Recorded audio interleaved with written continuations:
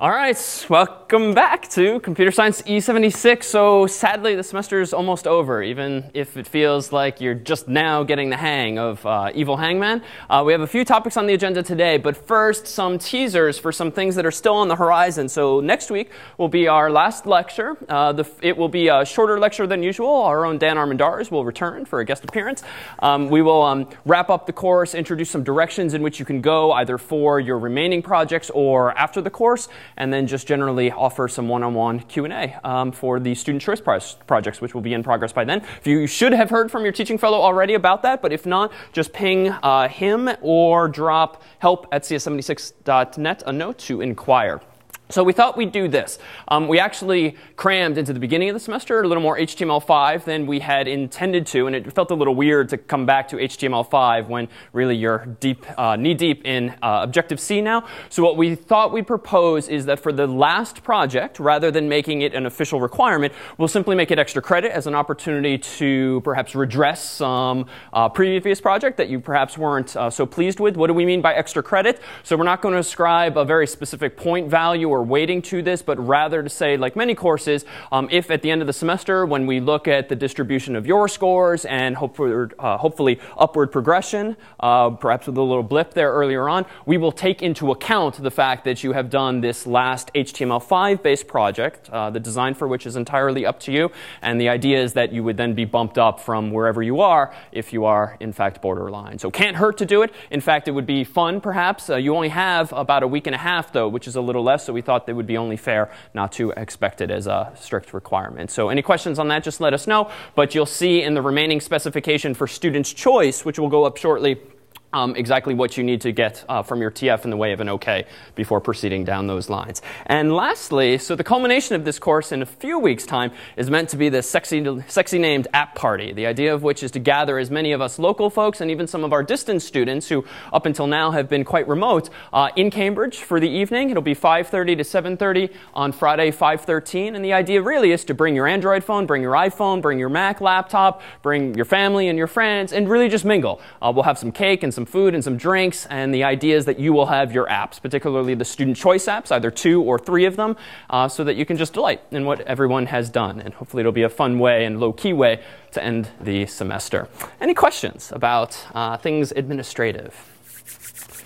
No? All right. So last week we looked at data related things, how you might store data, how you might read data. We looked at property lists. We looked at, uh, which, which, in turn are XML files. We looked uh, at SQLite. SQLite in Objective in the uh, iOS SDK recall is a C-based API, and it's not the most fun suite of functions to actually call. Certainly is not as easy to engage with as a language like PHP or Python, which are really uh, better uh, better designed with those kinds of queries in mind. But it turns out that there is a layer that Apple's offered for some time now called Core Data that can actually sit on top of SQLite or, in fact, on top of other things like XML files or blob files.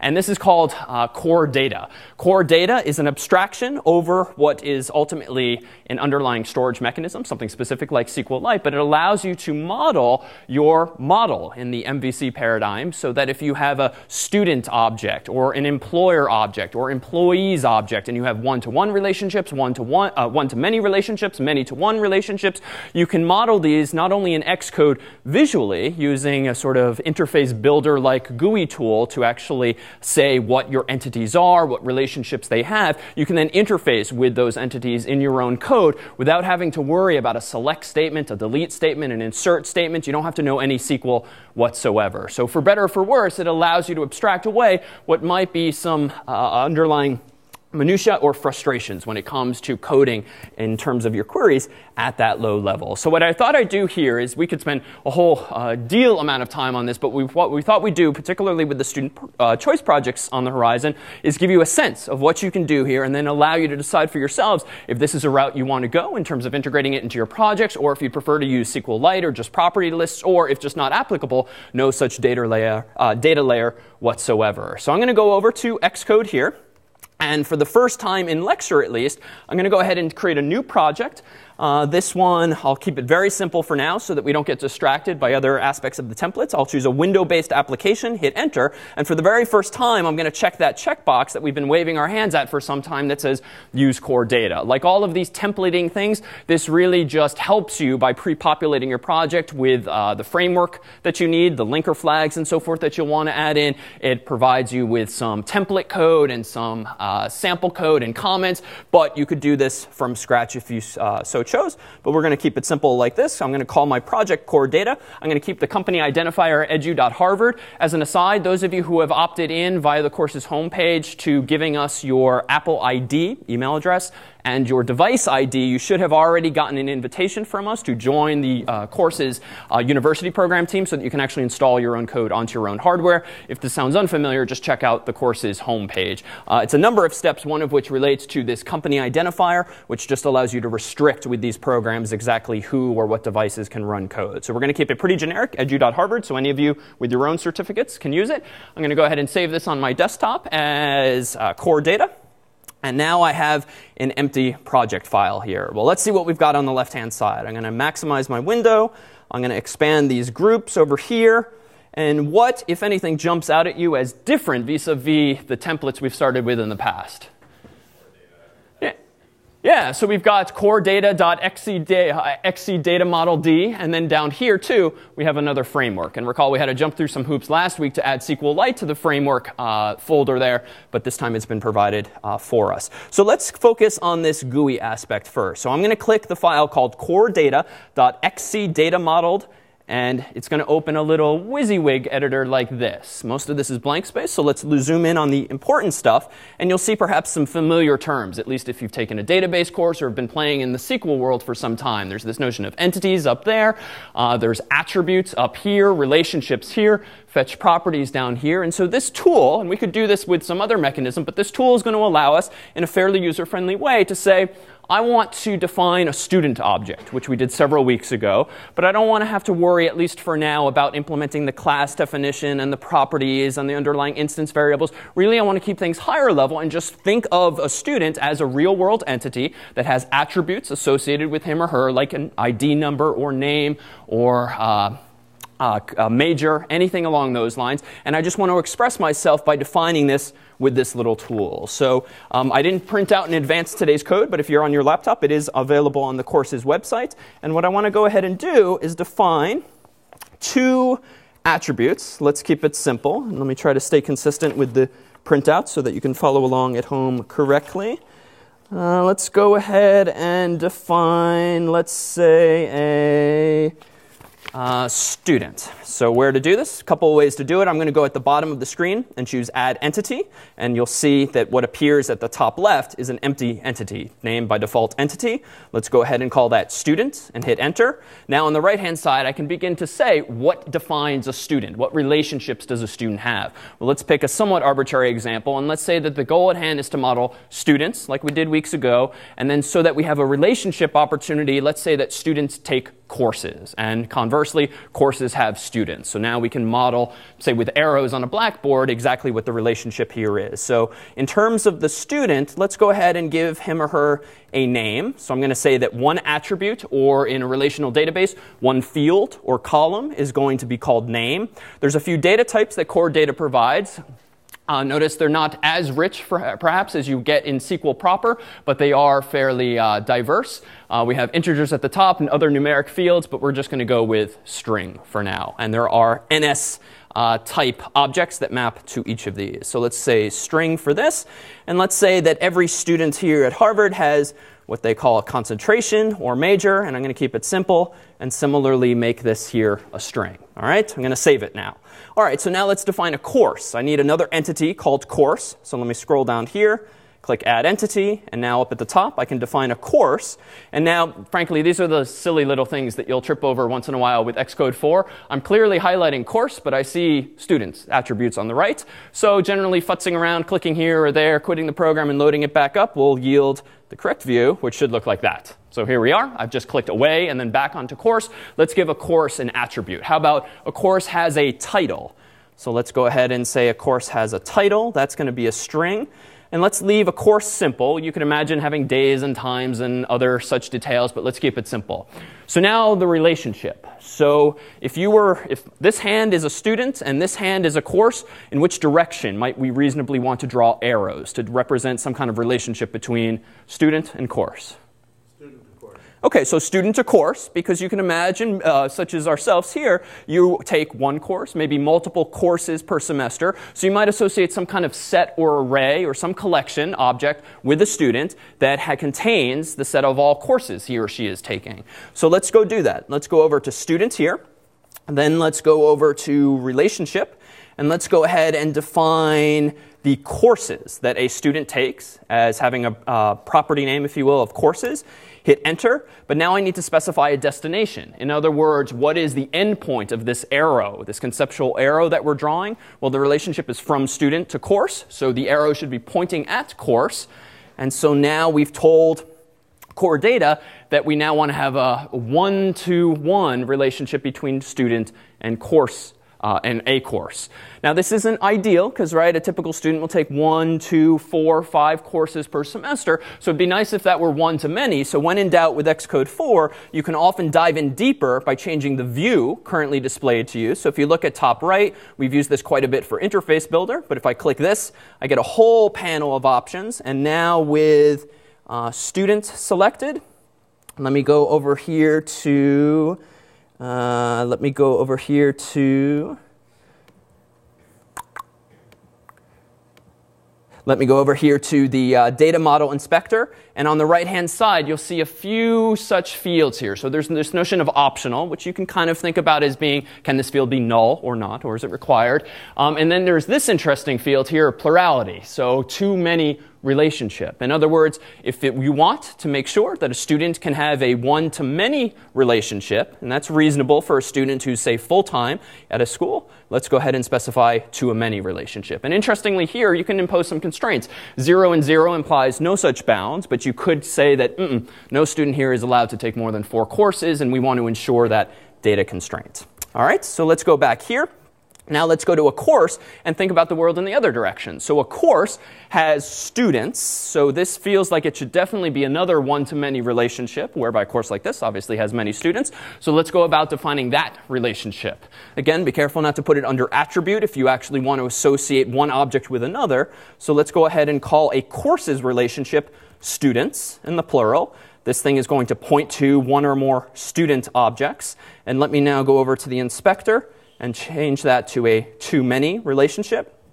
And then just for good measure, specify a reverse mapping here so that it's clear to core data that we actually have effectively bidirectional arrows here. So under inverse, we're going to choose what for now is essentially the opposite of a student. It's a course, and then that will automatically uh, populate itself over here for us.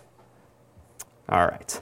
So Let's now go over to our remaining code files. There's not all that much going on as usual in main.m, so let's turn a blind eye to that. There is not all that much going on in the app delegate except for a few new properties. And so this hints at some of the underlying data structures that we're now leveraging thanks to our having started with the core data template and uh, ultimately linking against it. You'll see recurring uh, mentions of managed object context, managed object model, persistent uh, store coordinator, the last of which you can think of as the database, the persistent storage that once this thing's installed on an iPad, iPod, or, uh, or iPhone is going to be a long-term database in which if you store one or more students and one or more courses, even when the user shuts down that app, it's going to persist, much like a SQL database or an XML file that you wrote up yourself. Uh, once you reload that application, you can assume that Alice and Bob and Charlie are still going to be in that database. So those properties are alluding to these objects that will get created for us. And as we'll see in the .m file here, there's a bunch going on. Looks a little messy as usual because of the font size. But notice that we're synthesizing those things up top. And again, this is just boilerplate code. We haven't written anything yet. This should hopefully feel familiar. We got our application did finish launching with options. We've got this mention of resigning active state and backgrounding and so forth. Most of this still seems to be comments, but there are a few interesting things here in the app delegate. Most of these commented out functions are familiar sounding, but this is interesting. We've not really spent much time in here just yet, but application will terminate. Stands to reason that right before the user kills or the OS kills an application that's running, maybe because the user's tired of it or because memory is uh, incredibly low, well, you want to go ahead and save context. So this call, this message passed to myself of save context is the equivalent of committing any changes you've made to the local database.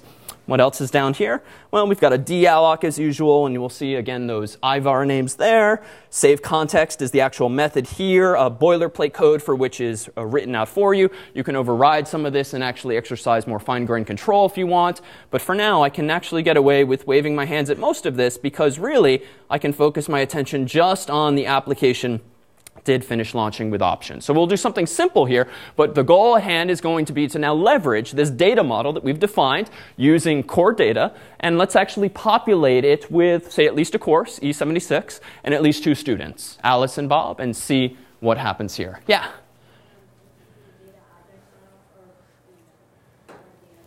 Uh-huh. In terms of relational database, so it's you can think of it as giving you kind of the equivalent of a primary key foreign key relationship, um, but it's not necessarily directly translated to that since the underlying data store can change, but that's a reasonable approximation so that there's some linkage between the two. So let me take the uh, pre-baked cake out of the oven so that we can look uh, at some of the otherwise tedious details to type in this same.m file. So I've done nothing else that I haven't already uh, uh, disclaimed. Uh, when wiring things up here, this is the same exact file, but with a prefabbed implementation of our application did finish launching with options. So let's take it away with Alice, just as we did a few weeks ago. A few new things. So first, I'm going to grab a pointer to this thing called NS Managed Object Context. You can think of this as akin to opening a database connection, even though it might not be that per se. So now here's a block of code I've commented as related to Alice. So I'm going to go ahead and get an NS Managed Object. I'm going to call it uh, Alice, a pointer there too. This is a very generic uh, pointer to some piece of data that's been stored in the core data um, data store. So it could be a string, it could be an int, it could be an object. It's some kind of object um, but I know it in advance is going to become Alice. So let's go ahead and create one such object uh, in memory here. So we're going to go ahead and call, um, we're going to pass to the NS entity description class an insert new object for entity for name, and then specify that it's going to be managed by this particular context. Turns out you can have multiple such contexts, but for now, let's just focus on what we're storing in here. And this is going to be an object of type student. So you can think of this akin to calling a constructor or alloc or new or the equivalent and instantiating a student object who's destined to be stored in the core data storage. All right, let's go ahead and set some of those key value pairs that we defined as attributes before. Alice right now, right now is kind of an empty uh, object with no interesting data. So I'm going to set the value quote unquote Alice, which is going to be her name, indeed for the specific key called name. And that's very deliberately named identically to the attribute I defined a couple minutes ago in uh, Xcode's uh, GUI. Then I'm going to specify one other thing. I'm going to set as the value of the concentration attribute, which we also defined a moment ago, to be quote unquote computer science. And as we've gotten into the habit, notice that the at signs there, these are NS strings that we're passing in. All right, let's do the exact same thing for Bob. With a wave of the hand, Bob will be Bob. Bob's also majoring by coincidence in computer science. But we notice we've created a second such object there, so now we have Alice in lowercase and Bob in lowercase, both defined as pointers to such objects. Now there's not all that much that remains to be done to actually uh, create a course and associate those two students with it. So I'm going to go ahead and create another such object called course this time using the exact same syntax, but notice that I'm effectively instantiating an object of type course this time, not of type student. Recall that we gave a course a title before, and I'm going to call computer science E76 down here. And now this one's a little more interesting because now I want to ensure that I have this one-to-many relationship. So I can't just call set value twice, because as would be the case with most of these collection classes, when you call set value, you're clobbering presumably the previous value. So we need to somehow store multiple students inside of, or rather map multiple students to this course object. So we can actually do that with a very generic container namely NSSet. Uh, you can't get away with using an array, uh, a set. It's going to come back as an unordered collection of objects on the way out. So I'm going to go ahead and use NSSet. There's a convenience method in that class called set with objects, which takes a comma separated nil terminated list of the objects you want to store in that set. So this NSSet independent of core data. You might have used this in your own code along with NSArray and NSDictionary and so forth. And I'm going to specify that that set of Alice and Bob is going to be mapped to the student's attribute or really relation. Yeah? What happens if I say make a typo in a table name string? If you make a typo in the table name string, you will trigger an error in the debugging output because the core data model will detect as much. So it will only happen at runtime? At runtime, a runtime error, yes. Yeah, so you still have to be careful, but um, that sort of thing would not be checked at compilation time. Good question. All right, now this is a convention we've seen in C and also Objective-C before. It's a way of having a back channel where you get a return value. So I'm creating a pointer called error. It's of type NSError. I'm passing that in by pointer, thereby passing a pointer to a pointer here. The idea of which is that then, if there is in fact an error, uh, the runtime can store in, uh, inside a chunk of memory and then point to it so that I then have access to whatever the error message is. And just in case something does go wrong for whatever reason, I'm going to go ahead and just print it out to the NS log by calling localized description, which is just going to print it in, at least in this case, in English for me. All right, so at this point in the story, if we've actually run this code on an actual phone, initially the core data database, if you will, is empty. At the end of this uh, curly brace, we're going to have a course object in, in core data's model. We're going to have two student objects, and there's going to be this relationship between the two of them. All right, so now let's actually do something slightly interesting with them. So you can get a sense of now the equivalent of things like select. Yeah? Are the keys, they're kind of arbitrary, concentration and so forth? They are arbitrary. Harvard calls majors concentration, so I called it concentration. At the time you're writing this code. They are deliberately chosen, I deliberately chose them to be identical to the attributes I defined in Xcode before. Yes. So when I specified names for things, I have to remember, much like you would create a MySQL database, you have to remember what fields you've defined. Yeah? Uh, so context, if we again steal the analogy of the relational database, you can think of this as the database into which you're writing if you want to actually segment various data stores. So you connect to this database or this database, but you can have multiple tables in those contexts. So is that like a predefined? The default one is yes. So you can actually you can ha- um, manipulate multiple contexts, but here we're getting essentially what the default one is. All right, so let's just iterate over these things. All right, so iterate over courses, I claim. So in core data speak, we're going to go ahead and make a fetch request akin to a select statement in SQL. I'm going to go ahead and alloc and init that, and then I'm going to specify that what I want to get out of this fetch is an object of type course. And again, I'm specifying the same context, but those first few lines there are really just preparing the equivalent of a, a select statement, even though it might not be implemented as such. Then I'm going to go ahead and get my result set back, if you will, my fetched objects. It's going to be an array because I'm executing that fetch request. And now you have a little fast iteration. I'm going to iterate uh, over those fetched objects, each of which is this very generic NS managed object for now. I'm going to call each of them uh, info for now, info for a course, info for a student, whatever it might be. And I'm going to go ahead here and output the course's info, specifically its title.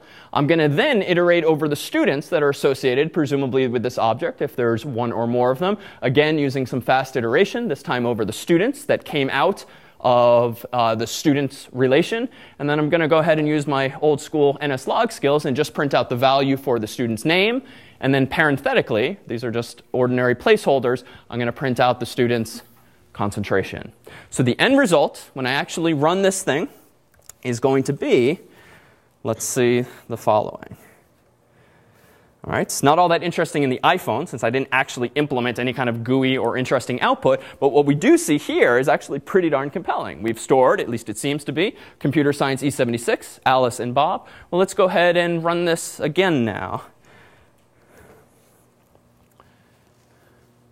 Oh, interesting. So I've run it twice. I haven't reset the iOS simulator, so I've run really the exact same code again. So this hopefully shouldn't be surprising in that no matter what language you're using, if you execute the same insert SQL calls or create table calls in SQL, you're going to end up running them again and again. But what's interesting here is that we do now clearly have some persistent storage on the device. If I had actually burned this onto my phone and running it there, I would have the same data building up and up and up. And so we won't bother now going back uh, to some of the more typical UI view manipulation, but you could imagine probably creating a uh, iPhone-based form that maybe takes in some fields like a student's name, maybe a drop down for the courses they, that they can take. You click save. That then sends a message to some delegate, and that delegate's goal in life is to execute code akin to this, to actually insert a new Alice and a new Bob rather than the hard-coded boilerplate example that I walked us through here. Yeah. Yes. Yeah, so there are equivalents of updates and deletes and so forth. Um, let me defer to um, uh, the student choice project if you want to go that route, but yes, there are equivalents for all of those things, and you can unlink the relations and, and whatnot. Yeah?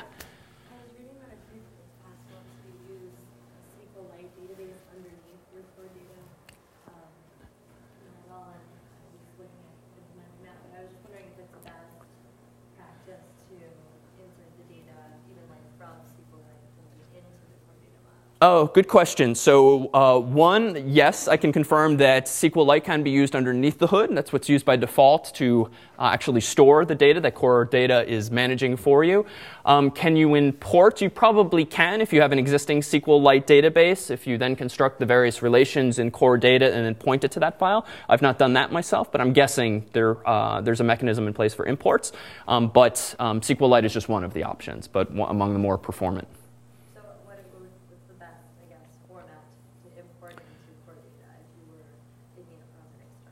Oh, well, I mean, you don't have terribly many options to import it. You would have SQLite XML, and there's one or two other options. Um, so I would only go through the process of conversion if you think that this is actually going to solve some problem you have, perhaps the amount of complexity in your current code, the number of lines of code you have, the number of SQL queries you have. One of the goals of core data is to actually reduce the amount of code you have to write, reduce the number of queries you have to write, the relationships that you have to keep around in your head, because we didn't quite look through the whole uh, attribute inspector there, but there are constraints you can impose like cascading deletes, much like you can in SQL and so forth. So a lot of the you know, complexity complexities or headaches involved with managing all of your tables yourself can go away. So if you do have an existing SQLite database that's kind of getting out of control, which to be honest probably isn't for an iPhone or a uh, mobile application just yet, um, you could in theory though move it over. But if you've got code working, frankly, a, the, you're just creating more work for yourself if you convert it over to this and throw away all the code you already wrote, unless it's solving a problem for you. Yeah. Oh, just, uh, just a shake. All right. So an option then, consider it for this remaining student choice project. So how about localization? So we took, look, took a look at this in the context of Android, and it turns out that in iOS, it's actually really easy, when Xcode cooperates, to localize your application, uh, generally using the GUI, and then you can even use a number of command line tools if you really want to localize your application with a bit more efficiency. So this is the sort of thing, let me suggest, that if you are intent, either for the course or beyond the course, and actually writing an application that's going to be distributed in your company or distributed via the App Store, and you legitimately think that you would want to have multiple languages uh, supported, do it now. Don't go back later and do it because it's relatively easy to do now. It's a relative headache to go back and change all of the strings you've hard coded throughout your application later. Even if you've just got one language, English, from the start, you can at least uh, lay the groundwork for embedding other such tools. So let's go ahead and do this. I'm going to close that core data application. I'm going to open up a blank Xcode template. And I'm going to go with view-based application now, just so that we can start taking advantage of screen rotations if we care about, and just some of the helper functions that uh, come free with that. I'm going to call this one, let's say, uh, ciao one, hello in Italian. I'm going to go ahead and target the iPhone, only because it'll fit nicer on the screen. I'm going to hit enter.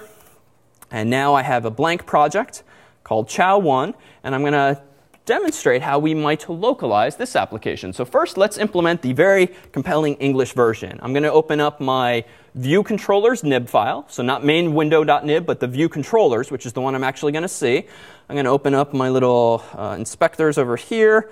I'm going to find that uh, UI label. I'm going to go ahead and type in here, hello world. And just to be anal, I'm going to go ahead and center it here and grow this over here. And then go ahead and center this there. All right, that's all you're going to get from me. That is my English implementation of Ciao, And let's go ahead and test it. Works great. All right, how do I go about localizing this application? Because now I actually want to ship this uh, into the Italian App Store. All right, well, I could create a whole new project. I could give it a different name. I could do sort of unproductive things like that. Or I can do this. Let me go ahead and click uh, the ciao1 viewcontroller.nib again. This time I'm going to go over to my, come on, this time I'm going to go over to my file inspector at top left there. And now notice all this while there's been this little submenu called localization. Right now it only specifies English, just because it's assuming that's what I'm writing in. Let me go ahead and click the plus sign here. And I get a whole bunch of seemingly popular languages plus a submenu with even more languages. Let's go ahead and pick Italian here. Notice Italian appears in that localization list, but notice slightly more interestingly on the top left, now this nib file seems to have become a, a, folder of nib files. And indeed, what we've essentially gotten now are multiple nib files. So let's expand this little triangle. And indeed, I have one in English, which looks just like it did a moment ago. And then I have one in Italian, which actually still looks like what it did before. So let's go ahead and localize this application. Ciao mondo. Enter. Now, just to demonstrate we've changed only one of them, I'm going to click back on the English. Hello world.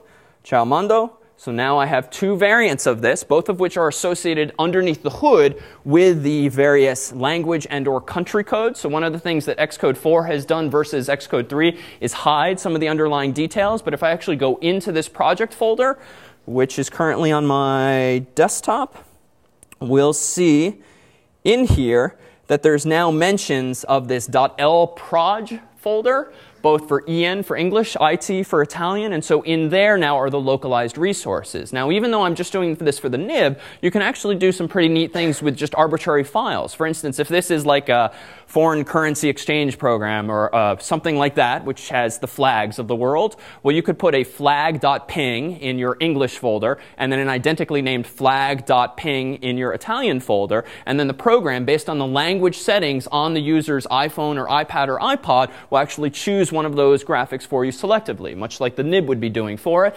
Um, but you'll see if you read through online resources and or textbooks that there will be more mentions of this than you see in Xcode today, because some of those details have been now abstracted away. And so all we now see in Xcode 4 for this stuff is the parenthetical on the top left here, English and Italian. So just realize the disparity if you're reading up more online. All right, so let's go ahead and run this. Yes? What if I want to localize a bunch of strings, like error messages? Is there something like resources Good question. What if you want to localize a whole bunch of strings? Yes, and we'll do that in version 2, because we'll quickly see that this does not really scale if you have to redo your entire GUI just to localize it, especially if some of your strings are coming programmatically from code. Is there really just one label? In a typical application, no, this is underrepresentative. Suppose you take the Italian one and you move the label to the top and turn the background blue. Oh, good question. So what if you make changes to one, not the other? They actually do start to get decoupled. So again, reason number two, not to necessarily go this route. We'll see a more powerful, more versatile uh, programmatic way in just a moment. All right, so let's go ahead now and run this. All right, so I'm going to run the simulator, which by default is in English. There is my Hello World application. So now let's go ahead and change this. Uh, so for those unfamiliar in the iPhone, I'm going to go back to the home screen here. There's Tommy from last week and all my blank games from last week. Let's go over to Settings and go to General and go to International. And you have a couple of language related options here. One is the region format, which means um, you might be a Spanish native speaker but living in the US or vice versa, or any number of uh, country language combinations. For now, I only care about the language, so I'm going to go ahead and click on Language. Then I'm going to scroll down to Italian. I'm going to click Done. And a few seconds later, it's going to have changed my lingua to Italian. It's unclear why it takes this long. But now, uh, now the simulator crashes. So this was actually pretty consistently produced by myself and some of the teaching fellows. Um, seems to be an issue when you're running it in the simulator or with the USB cable attached, presumably because uh, the debugger GDB is attached. This actually works perfectly fine when you disconnect your USB cable or reset the iOS simulator. So I do that uh, so that you can perhaps save the hour of time I spent trying to solve that when there seems to be no current solution. All right, so the output is correct, just don't do it in the simulator or, uh, or uh, with your USB cable attached. So let's do this. With a wave of the hand, as though that never happened, I'm just going to, well, there we go. I don't have to reset. I went ahead and rebooted the simulator, the exact same code, and voila, now it's Ciao Mondo. And we can see that same crash again if I change it back to English and then reload the simulator. Um, but resetting the simulator at least or not using your USB cable should avoid that issue. All right, so at this point in the story, my questions were going to be, well, what's bad about this approach? All right, well, we kind of realized that already. One, this doesn't really scale, especially if you decide to make non-trivial changes to your GUI later on after you forked off the Italian version, maybe the French version, the Spanish version. Now you have to make these changes in all uh, sorts of places, which is uh, really runs afoul of the idea of trying to uh, design this thing well. Um, and two, what if some of your output, like many applications we've written, Evil Hangman for instance, is not coming from these hard-coded strings in Interface Builder, but you're rather generating them programmatically based on user input. So we need some way of actually doing this in C or an Objective-C code. Well, let's go ahead and take a stab at that. I'm going to go ahead and close ciao1 as being suboptimal here. I'm going to go ahead and open up a new project, view-based application, call it version 2, ciao2. And I'm going to hit enter and save it on my desktop as before. And now let's go ahead and do this. So now hopefully these are motions you're getting more comfortable with now. I'm going to click my viewcontroller.nib. I'm going to open my view inspector here. I'm going to drag a label again over here. I'm going to move this over here, this over here. But for now, just to be clear that the changes are coming from code and not from hard-coded strings, I'm just going to leave it called label. All right, so now I'm going to go over to my viewcontroller.h, and I want to go ahead and wire this up. So I'm going to go ahead and define a property with non-atomic, retain, and I'm going to make it an IB outlet so I can now interface with my interface built uh, GUI in code. So this should be of what type? Little sanity check. Yep, you know, UI label, and we'll call this just label. Now I have to go over to my M file, and I'm going to go in here and synthesize this. Uh, I'm going to call it label. I'm going to map it to an IVAR called label. OK, so that part's done. So now I can go back to the nib. I can drag from what to what in order to wire my code to my GUI.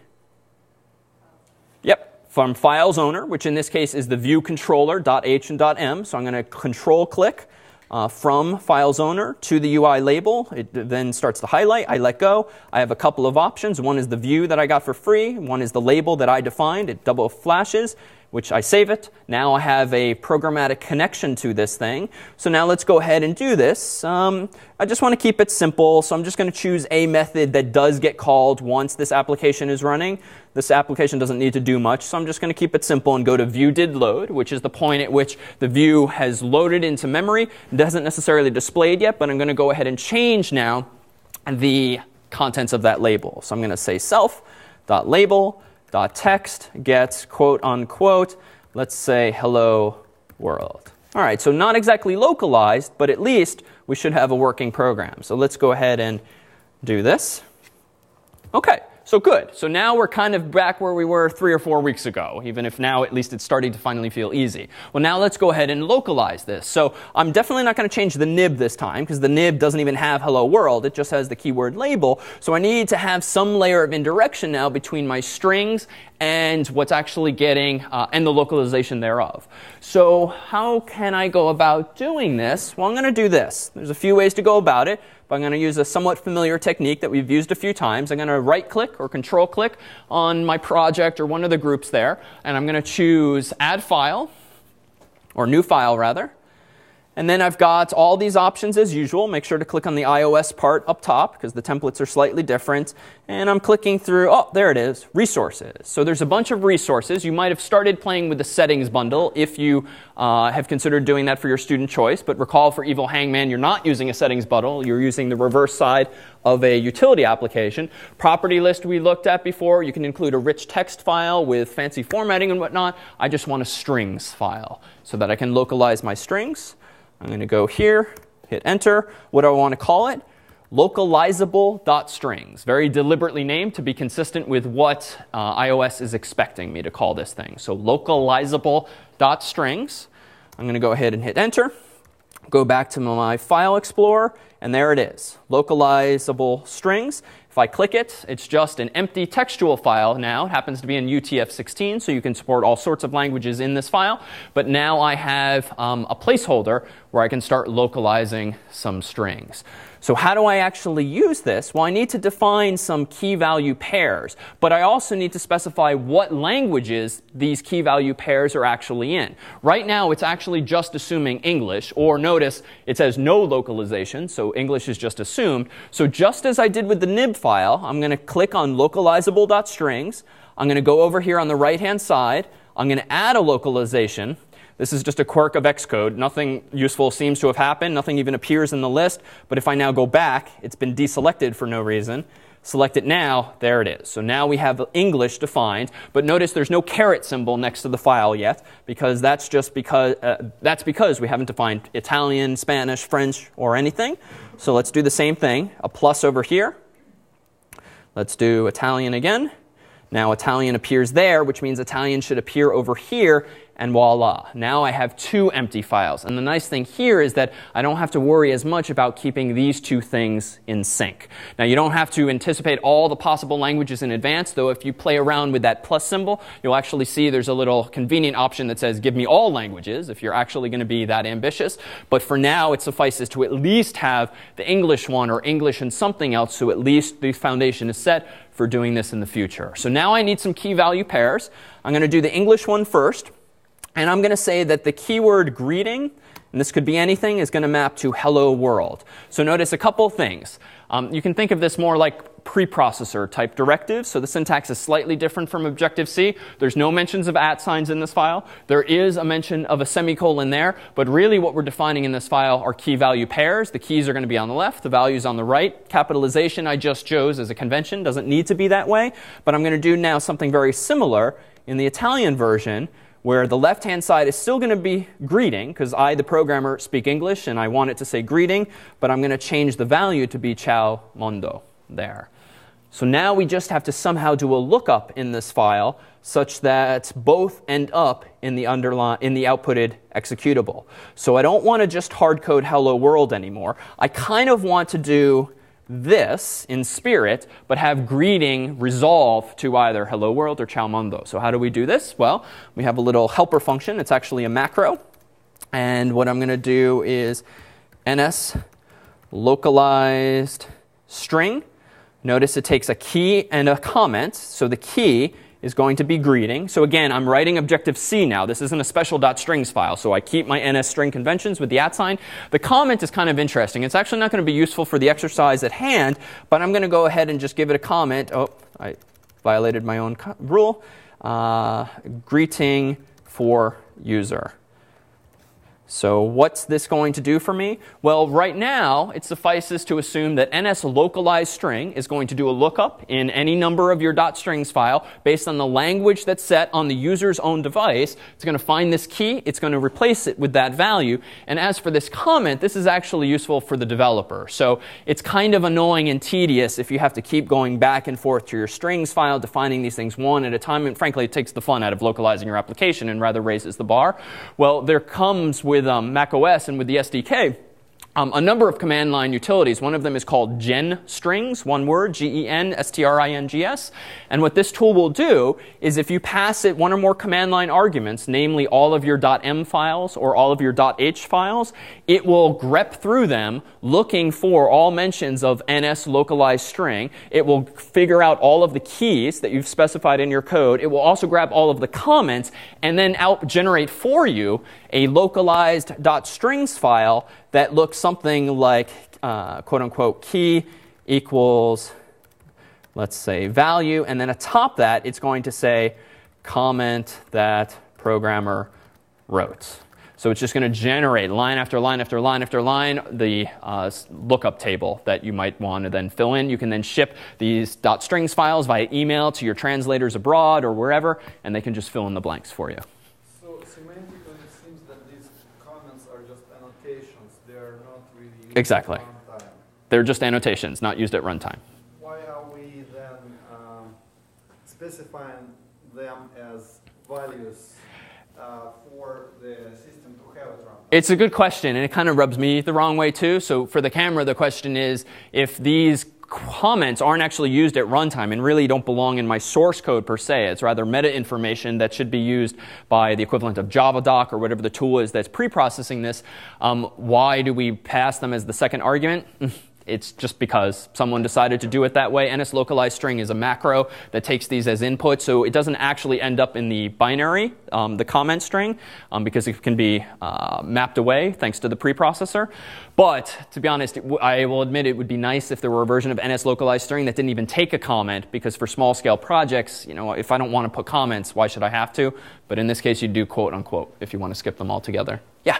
Couldn't you do the same thing by defining your own macro that called in a string with an empty type? Sure, you could absolutely solve this problem yourself by writing your own macro that only takes one argument, but eh, quote unquote, it's pretty easy too. As much as I complained just now. Yeah. Can you handle any other types, like not just uh, strings, but you know, can you localize numbers or dates, for example? Oh, good question. Can you localize dates, numbers, and so forth? So you actually can. There's a class called NSLocale, which is the interesting one to look at, that gives you access to the formatting codes that are used by various regions, various countries. We in the US might do uh, month slash date slash year. Abroad, they might do date slash month slash year. So you can gain access programmatically to the default formatting codes and such, and the current regions and all of that locale specific information via that class called NSLocale. So yes, you do have access to all of that.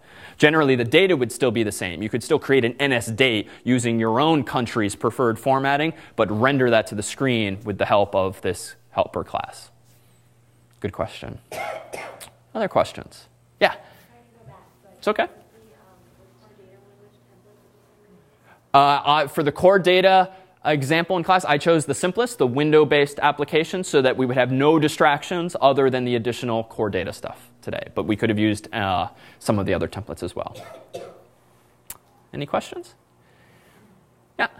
Um, how do you get um, extended character sets in there? Um, Good question. So the file itself is UTF-16, so it's encoded properly. If you actually want to embed the right characters, you could use, um, I mean, even in Mac OS, there's a screen overlay keyboard so that you can actually punch in the symbols that you want to create the right characters. Um, I know relatively little about um, other um, uh, keyboard mappings that folks tend to use, but at least with Mac OS, you can input it manually yourself, or if someone else gives you the text file um, in the right format, you can just drop it in as well. I- I've used those simple keyboards for like Italian and Spanish accents, for instance, to save so because I don't know the keyboard shortcuts.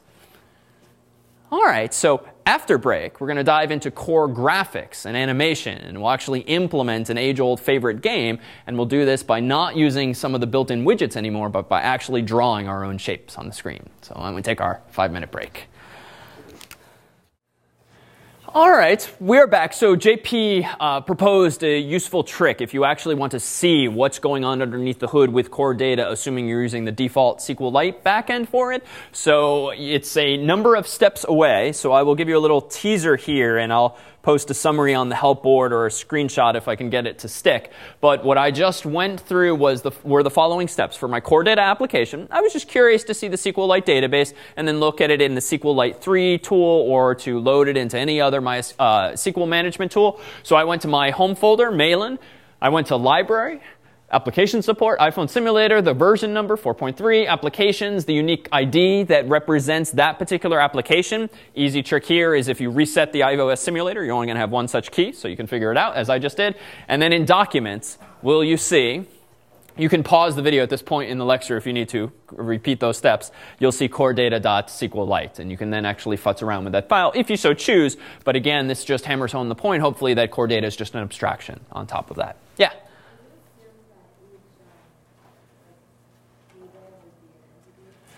Good question. Is it assumed that each table is an entity? I would think with high probability when you're using the SQLite engine. You shouldn't care about that, to be fair, but um, if you are trying to go from one to the other, that could certainly be germane. All right, so very excited because this is a really fun game. So this is one of the earliest games, Pong. It's sort of the equivalent of table tennis on a computer. What's nice about it, though, is that you can use fairly limited graphics, even though we have like a gigahertz worth of computing power available to us. I'm going to do my best to see if I can't implement this from scratch correctly the first time around, but it'll actually offer us a really nice opportunity to, one, um, revisit some of the wiring that we've been doing with IB outlets of late, to revisit some of the view controller discussions we've had, but to transition away from using some of the built-in widgets like labels and images and so forth, and instead actually make our own graphics. 2D graphics for now, but know that the iPhone does support OpenGL ES, which is the embedded version of OpenGL. That in and of itself tends to be an entire course, but if it interests to you, certainly for your choice project, um, you can find any number of resources online. We're going to focus on the API or the SDK generally known as Core Graphics, part of which is this thing called Quartz or Quartz 2D, uh, some of which we've actually used but briefly over the past couple of weeks. So you might see some familiar prefixes and or uh, functions. So this is the game according to this uh, Wikipedia archive here. So you have a screen, a tennis court of sorts. You have uh, just a midpoint. You have a score for the person on the left, a score for the person on the right. You have two paddles, one of which is controlled by the computer, one of which will be controlled by me with the equivalent of a joystick or my up, down, left, right keyboard, or in the case of a touch device with my finger this time around. So our goal is to implement that, but surely you can imagine a sexier interface, actually lay down some grass or whatnot, but we're going to keep it uh, super retro for today's purposes. All right, so what do we need to know before diving in here? Well, one, just let's um, make sure everyone's on the same page as to the coordinate system. This actually differs in OpenGL where things are a bit reversed, but for our purposes now with our 2D graphics, the top of our world is going to be the top left-hand corner. That's 0, 0. The x-axis will go to the right. The y-axis will grow downward. So plant that 0, 0 in your mind. Um, two, this notion of um, frames we're going to see. So there's frames, there are bounds, and there are centers of UI views. So this is actually from Apple's own documentation. So I imagine this is some happy Apple engineer. Um, and what you have here is, let's say, a UI image view. If you've ever embedded, like we did last week, a Tommy or equivalent into your application using a UI image view, you had a rectangular object like this.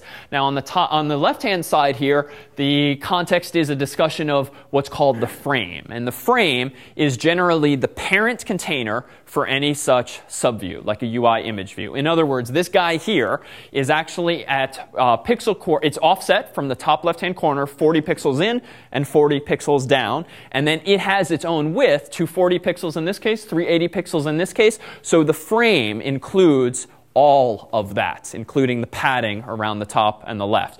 Now, if you focus only on the guy, irrespective of his parent container, the whole window or screen on the iPhone or the iPad, well, his bounds are actually independent of that initial offset. So generally, when writing code where you're manipulating things inside of a UI view, inside of a rectangle, you need to um, realize that they're relative to the uh, to the rectangle in which you're in. So there's no mention of 4040 on this one. Anytime we use the keyword bounds, as we'll see in code, we're going to be talking only about the relative coordinates within the view, irrespective of where this thing actually is on the screen. So this, the center within the bounds rectangle would be what 120 by uh, by uh, 190 or something? Uh, yes, so correct. So the center here would be 120 by 190, whereas the center there is actually relative to the parent frame. A good point to make. All right. So points, finally. So ever since the iPhone 4 came out, um, those of you with the iPhone 4 actually have twice the resolution, twice the pixel density on your screen. This would create havoc if this now meant not only do we have to support the iPhone and the iPad, we now have two different versions of the iPhone, and so we now need multiple views or multiple copies of our application, each of which supports the different resolutions.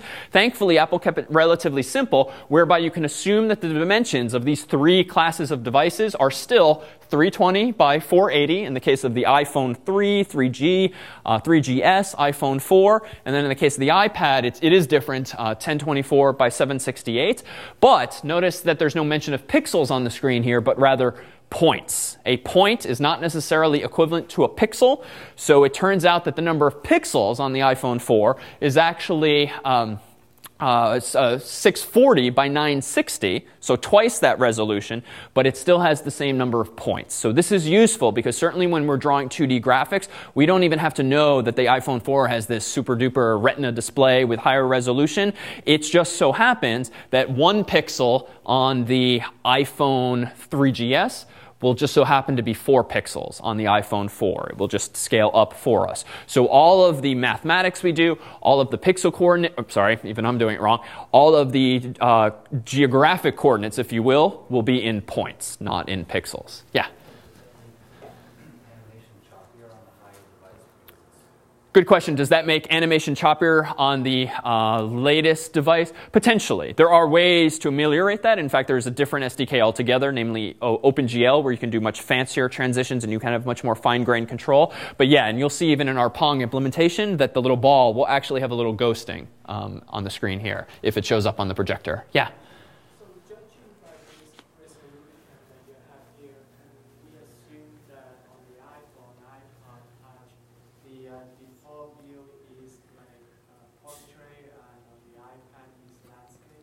Good question. Based on these resolutions, should you assume one or the other? Um, no, to be honest, as I look at these numbers, I should have written one of them the opposite to be consistent. Um, if anything, the default view of an iPhone or an iPad is up vertically, just because the home button is on the bottom. Um, so I accidentally reversed those two. So I'll fix this as though it never happened.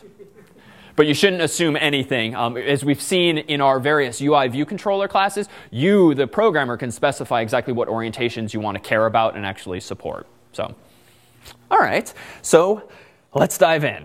I'm going to go over to Xcode here. I'm going to go ahead and create a new project. I'm going to use a view-based application because I do care about screen rotations here. I'm going to keep it simple though, and I'm only going to support one landscape orientation, but we could add support for others, but we'll focus more on the graphics aspect today and less on the UI view controller stuff, which we've encountered before. I'm going to go ahead and call this Pong. I'm going to go ahead and hit enter, save it on my desktop. And let's see where we can begin here. So hopefully this stuff at the top is pretty familiar now. Uh, we have our nib files, we have our m files, our h files. I'm going to go ahead and first do this, and this is one of these things that could certainly could be clear. This does not mean that those are the orientations your app will support. That means the list of orientations that ideally your app will start in. And so by uh, whittling this down to just one, what the runtime should do for me is that when I boot it up, it should open up in only that orientation, but it's still in code, recall. In our view controller, we need to specify by returning yes or no, a Boolean value, which orientations we actually care about. So um, the, it's, it's so enticing to just think it's that easy to deal with orientations, but not quite just yet. So I'm going to go ahead and save this. Uh, what do I want to do next? Let me go ahead and go into my nib file for Pong View Controller.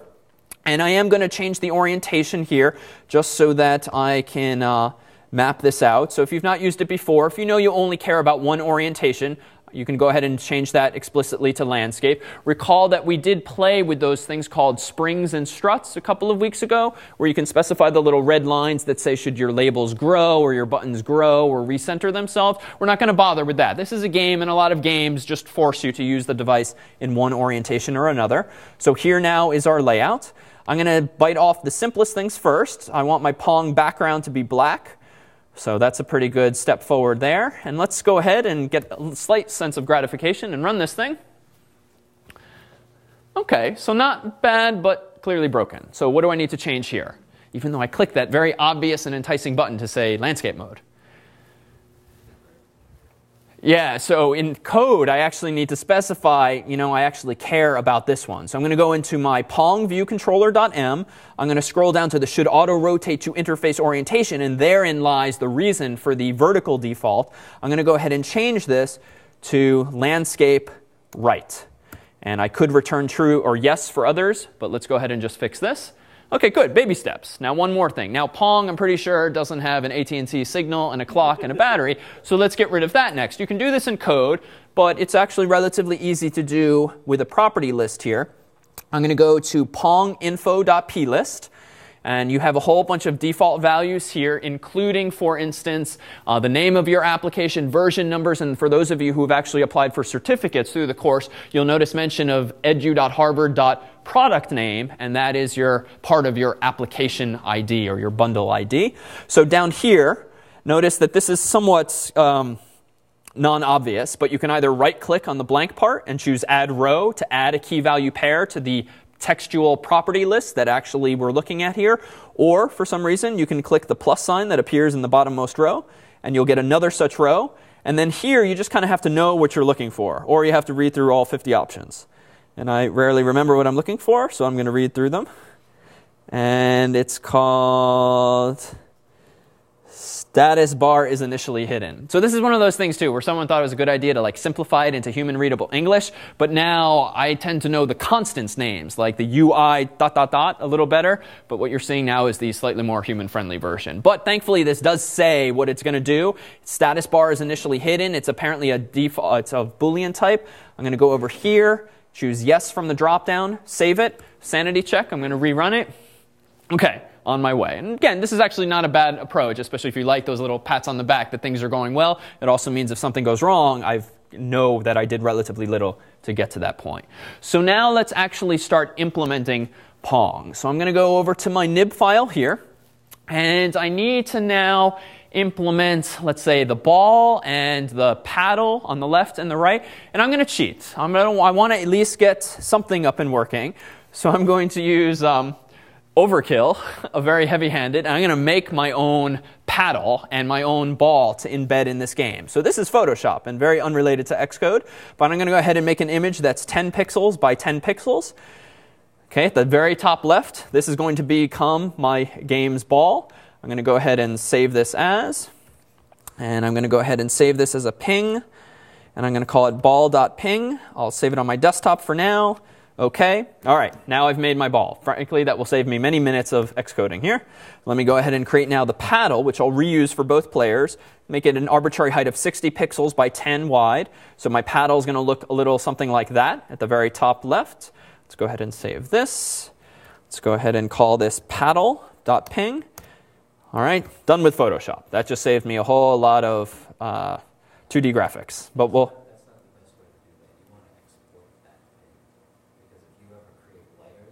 Oh, that's true. So that's true, but I'm going to get rid of these pings before long anyway. So point taken, but we'll keep it even super simple and just save it as is. So now we got to get these things in here. So these widgets we've used before. So let me just scroll down. And again, I promise we'll get rid of some of these. So I definitely don't need a UI image view that big, but let me just lay it in there. I'm going to choose at top right the default image I don't seem to have any options. So this is the point at which, recall, that if you want to import some things into your project, click the ball, click the paddle, and let me drag them over to, say, my supporting files, but they could go really anywhere. Just like we've imported files like the controller file from other things before and so forth, make sure to copy it over in case you delete the one that's sitting on your desktop. All right, now they're actually in my project. Notice them at top left over here, paddle and ball. So now, if I'm in my nib, I can specify that the contents of this image view are going to be either ball or paddle. That's going to be ball. Now, this is a little excessive. I definitely didn't make that image, so let me actually change it from scale to center. All right, that looks a little more like the 10 by 10 ball that I drew. And actually, I'm going to, I know it's 10 by 10, so for now, I'm going to make it uh, 10 width by 10 height. And now we've really whittled it down to something pretty small. I'm going to very carefully drag it to the center so the game starts with it centered. And now I'm going to do one thing and a little copy paste. So I'm going to load into this guy the file called paddle. All right, that too is getting stretched unnecessarily. So let me go ahead and make him 10 by 60, as I know he is.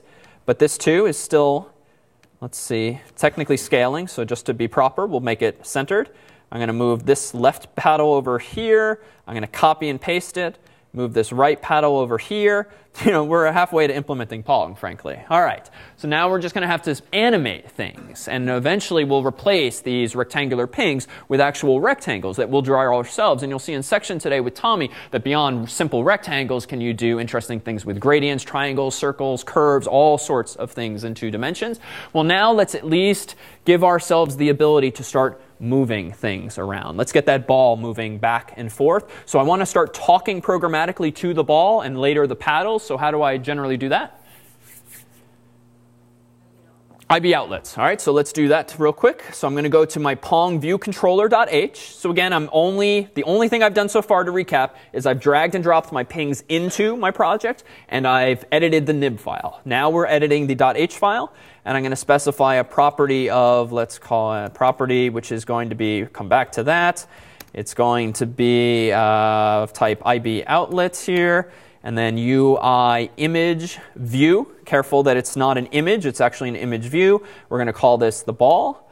I'm going to go ahead now and ask you the question, what goes here? What attribute should we apply to a UI image view? Okay, so we want it to retain because it's going to be a pointer to an object. So generally we do want this retain semantics. And yeah, non-atomic. We haven't really dealt with multi-threading here, so non-atomic is fine. It gives us a slight performance benefit because we don't worry about locking or semaphores. So now let's go ahead and create two other things for the paddles. This is going to be paddle left, let's say, and this will be paddle right. All right, Xcode's already yelling at me with these yellow flags, but that's only because I haven't synthesized these things. So let's quickly do that. Synthesize the thing called ball, map it to underscore ball, synthesize, uh, what do we call it, paddle left to underscore paddle left, and then copy paste. Change this to paddle right. Change this to paddle right. All right, so now we're on our way. So pretty good so far. Now I have programmatic access to those things. So now I want to actually start moving things around.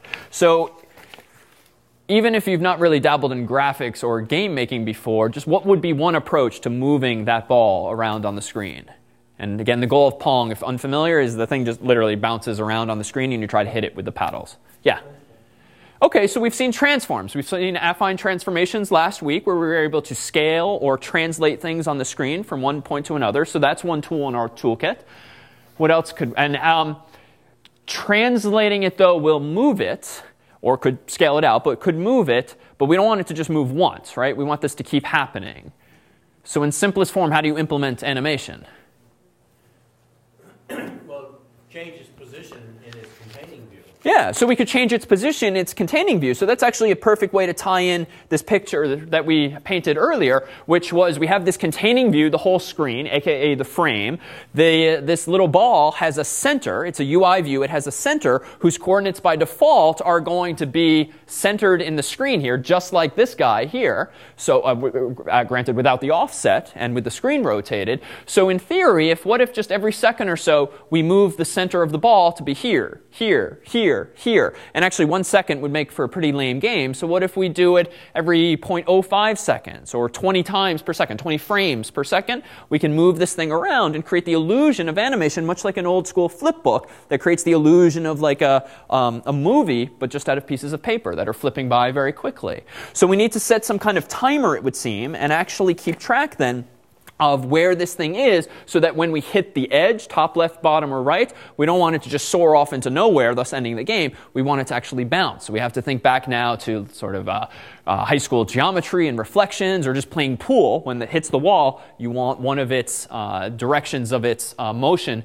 to actually flip around based on the angle it strikes. But we'll keep it simple here. So I'm going to go ahead and scroll down to uh, my M file, and let's see what some of our options are here. We've got a dealloc method, so we should actually do, for good measure, something here. We should actually send a release message to the ball, and we should actually send a release message to the paddle, and we should actually send a release message to the other paddle. And why do I send release, even though I didn't call alloc?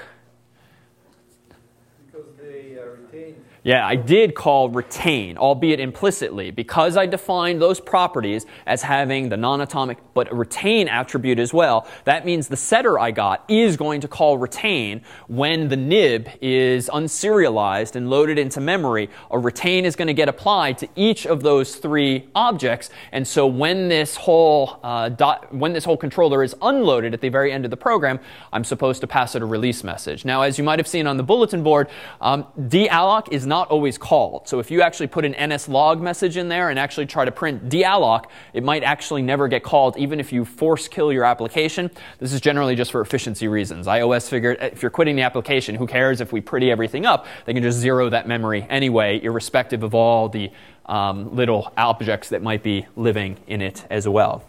All right, well, what else should we do? Well, to be proper, we should also take um, to heart some of the comments in here. So it says release any retained subviews of the main view. So just in case, now granted, this program only has one view controller, only one view. But in theory, if when it's backgrounded, that view's got to get punted from memory and reloaded from the nib, really I should be getting into the habit here of saying, well, self.ball, I'm going to go ahead and set that to nil if the view is unloaded. Self.paddle left is going to be set to nil. Self.paddle right is going to be set to nil. I could pass release messages to these things, but generally the pattern is to still use your setters and getters anytime you're inside of the class in these methods here, and only in dealloc to use the ivar.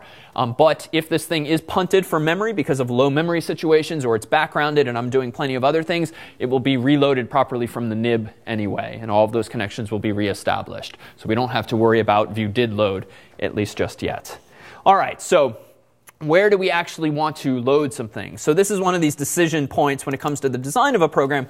Where can you actually load things? You typically have init methods, init with frame methods, init with coder methods, awake from nib, view did load, view will display. And there's so many damn options sometimes. So let's actually go to the one that we know at least guarantees that all of those outlets in our nib file have been established so that if we start touching pointers, we're perfectly safe. And so that method, which gets passed anytime an object is deserialized from a nib file, is simply called awake from nib.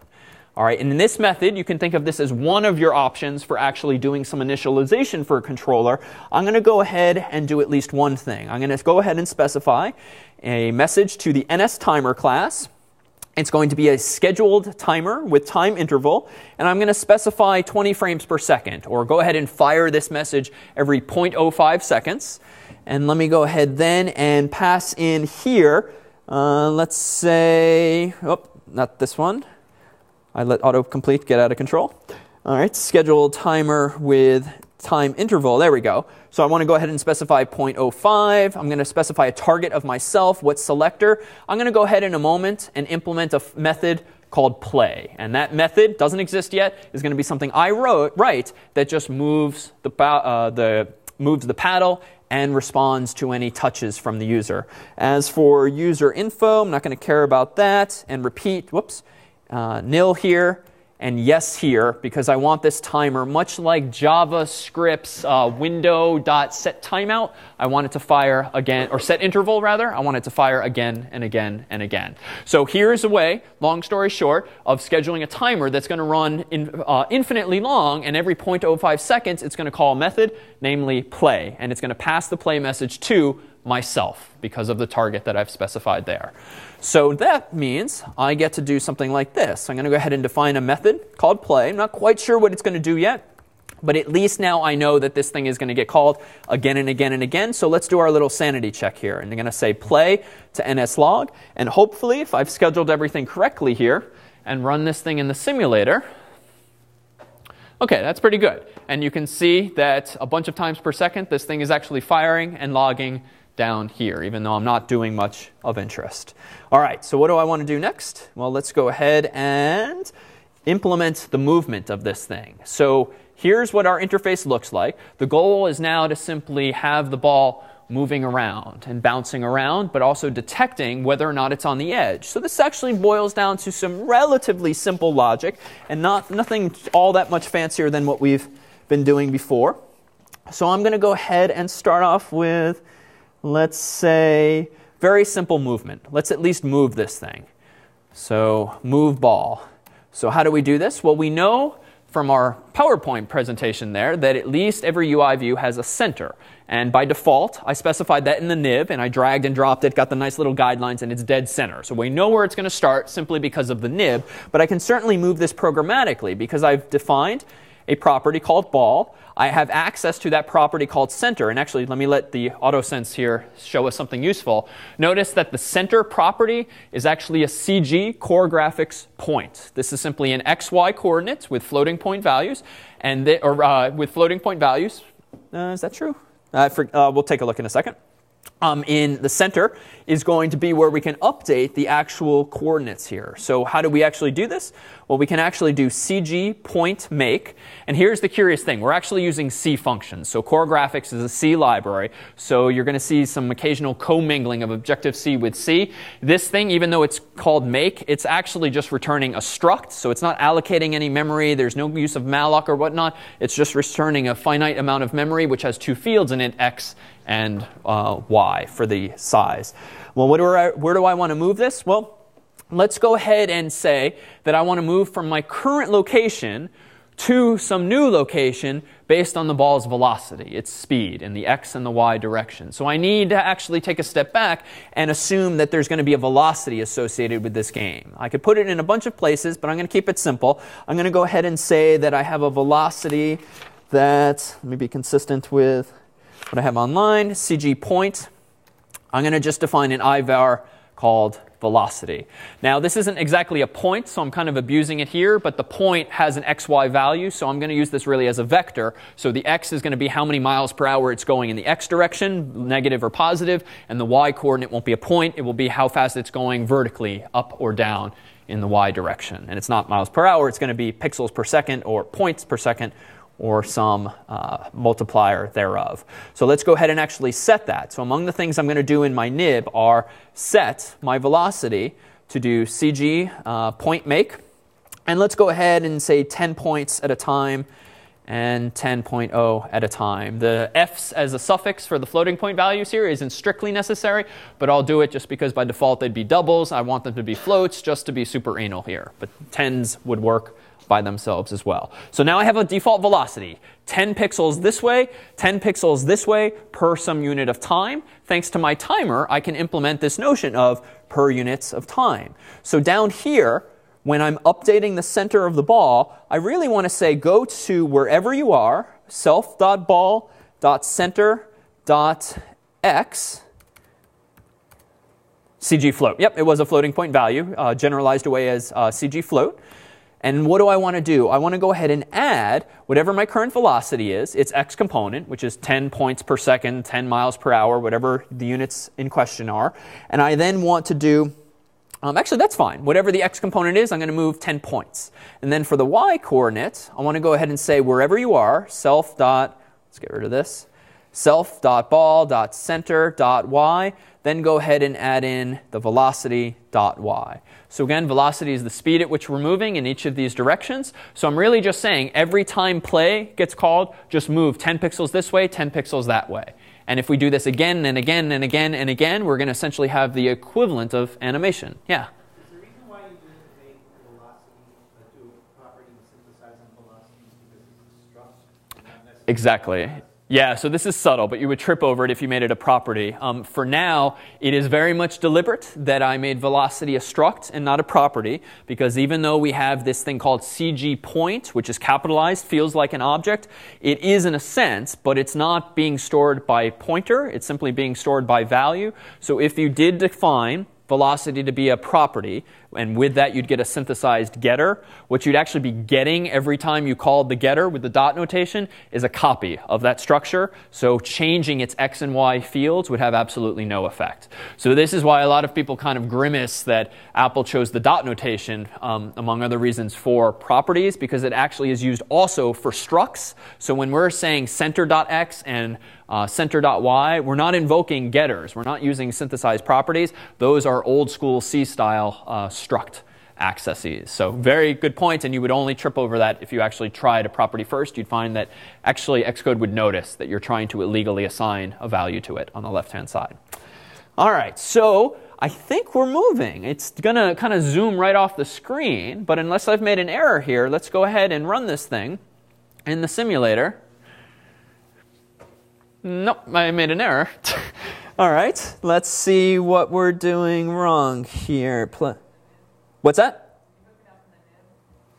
Uh, did I hook it up in the nib? That's a very good point. No. So when in doubt, see, I told too much of the story. Very good debugging technique. Um, always check your connections. In this case, I have no recollection, frankly, of wiring this, so I probably didn't. We have three outlets we need to connect. Yeah. Is center a property that, or an property in a generic sense that you defined, or is it a property of the view? It is a property of the UI view class. Center is a property of the UI view class. If you change it, that makes it move.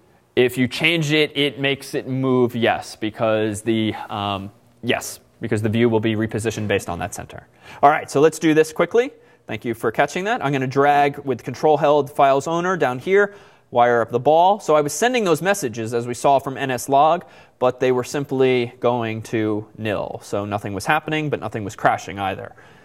All right, so now let's try the same thing. Watch closely because the game's about to end. Woo! Okay, so not the best game, but we're pretty good. We're pretty capable now of detecting when it's going to bounce off the edge. We can programmatically check what the dimensions are because, in fact, if I put even more effort into this, I could absolutely support the iPad and simply have a separate nib for it that actually has the right dimensions. But for now, I'm going to go ahead and keep it somewhat safe, and I'm just going to assume my 320 by uh, 480.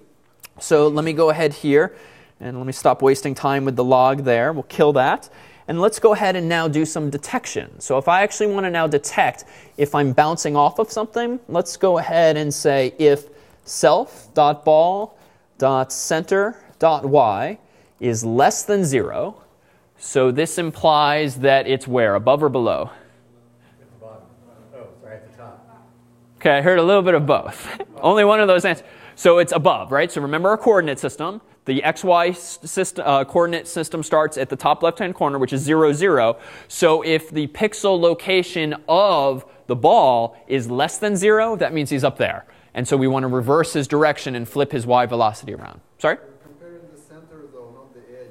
So that's true. I'm going to actually clean this up in a moment because my ball is actually 10 pixels. So he's actually going to be kind of off center. So we can fix that. But for now, we're just going to go ahead and assume that he's partly off the screen.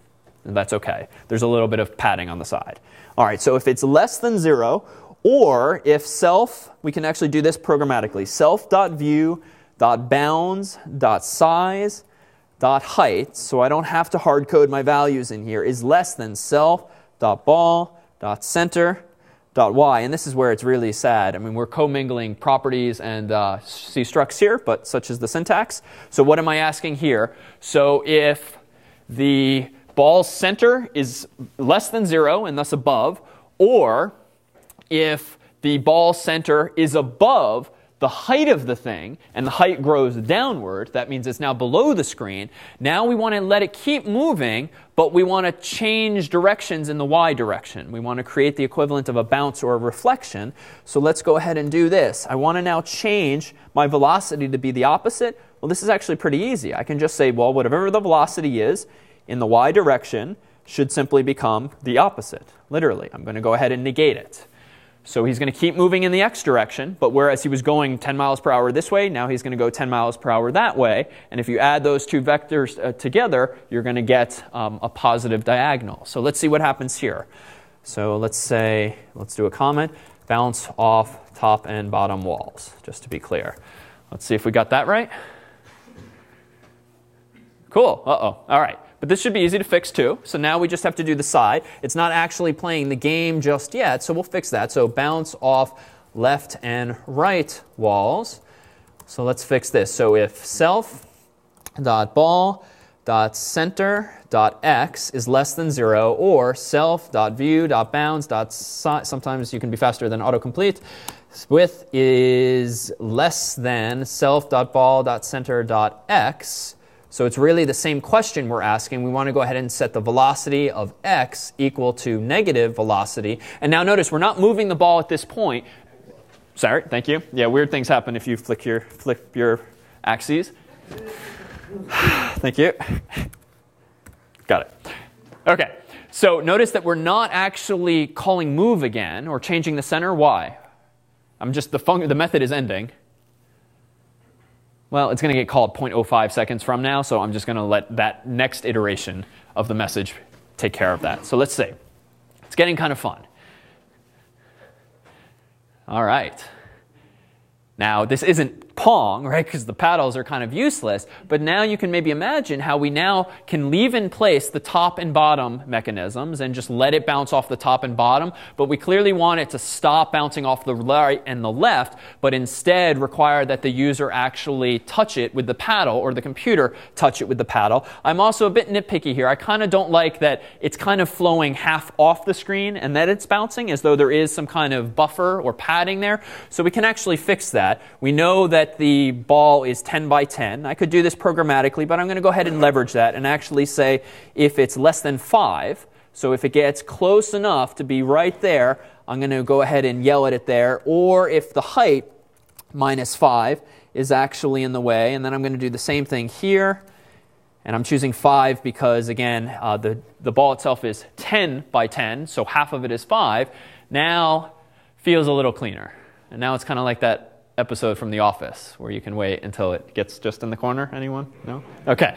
All right. So we're all getting there. So now we actually can talk about UI views um, touching each other or somehow detecting the presence of another frame or bounds within their same context. So this thing that's moving around is still just a 10 by 10 UI image view moving. So we really need a way of asking the question, is he touching another such rectangle? Is there any overlap? And if there is an overlap, even if it's one pixel, we're going to use that as an excuse to reverse the x direction of the velocity so that it actually appears to bounce off the paddle. And then we can go back and instead of letting it bounce off the back wall, we'll simply detect if it goes off the back wall at all, well, bam, we're going to go ahead and give a point to the other guy. So let's go ahead and add the paddle support now. So I'm going to go ahead and do it for the right hand guy. So this is going to be the actual user. So bounce off right paddle. So how are we going to do this? Well, we have this uh, function accessible to us. If CG uh, rect intersect intersect rect, and now we need to specify two rectangles. So I have my own self's ball pointer and its frame. And recall that the frame represents the rectangle of it. And it just so happens to be, there's no offset there. So it's actually pretty equivalent to the bounds. Now I'm going to go ahead and say, is the frame uh, touching self.paddle left? Dot frame. So again, frame, just like center, is a property that's been associated with every UI view we've been using for weeks. We've just not really needed it just yet. So this core graphics function is just going to say, are these two rectangles somehow touching by at least a pixel in any direction? So that's pretty nice. So if that is indeed the case, I want to go ahead and say, well, uh, let's go ahead and say, we can steal what we did before. Uh, underscore velocity dot x gets negative underscore velocity dot x. But I want to do a little tweak here. If I go back to the simulator, uh, let's get rid of this for just a moment. I want to be careful here because in Pong, really you only want that thing to bounce off of the insides of the paddles. So either over here or over here. I don't want to get into this weird situation where it's oscillating back and forth between the right hand side and the left hand side and one of the paddles. So I'm going to add a little check here. And rather than just bouncing off the paddle, like I said, I'm actually going to ask too uh, if the center of the ball, so if uh, self.ball.center.x is less than self dot paddle right dot center x. So in other words, is the ball to the left of the center of the paddle, in other words, it's coming in from the right direction, then I want to go ahead and update the velocity. Otherwise, I don't want anything to happen. I want it ultimately to just go right off the right hand side. So let's go ahead now and get. Oh, yeah, this is not good. Okay. Do as I say, not as I do, clearly. Okay, that looks better. All right, it's not perfectly correct. Let's fix my indentation at least.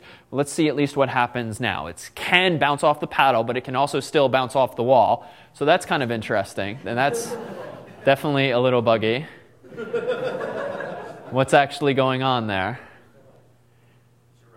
Yeah, it's kind of nice. It's kind of pretty. I wish it were deliberate. What might be going on? this is my version of Pong. So that's kind of interesting. So what's going on here? It kind of feels like it, right? That the frame is a little bigger. So let's do a little sanity check here. Let me go back to my nib file. And I'm going to right click on or click on that. I'm going to go over here to my measurements. That's actually okay.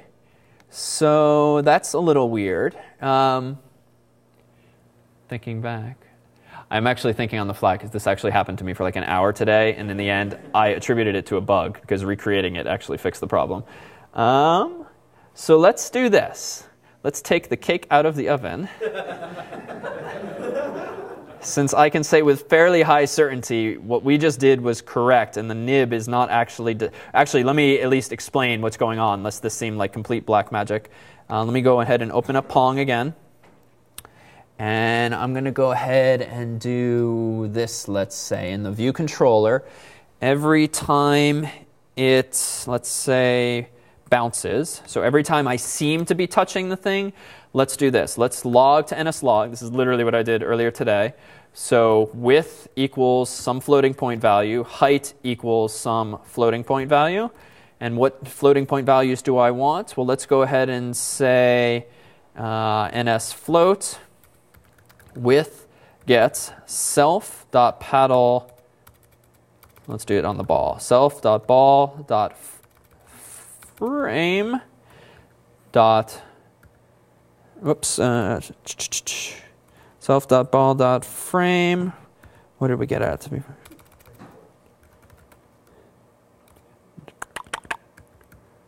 Something's wrong here. What did I do before? Uh, nope. It's not liking this for some reason. Oh, you know what? What's that? I think it's, it's like a rectangle, it has an origin property, a size property, and each of them is, uh, like, one is a point and the other one is. Okay. Let's see. Self dot ball dot. No, what something? Frame dot origin. Frame dot origin. No, it's still not liking this. I'm not saying. Uh, It shouldn't matter anyway, you're taking the center. Yeah. no, but what I want. Hmm. What is wrong? All right, let's do this. I will figure this out when I don't have eyes staring at me. And let me do this.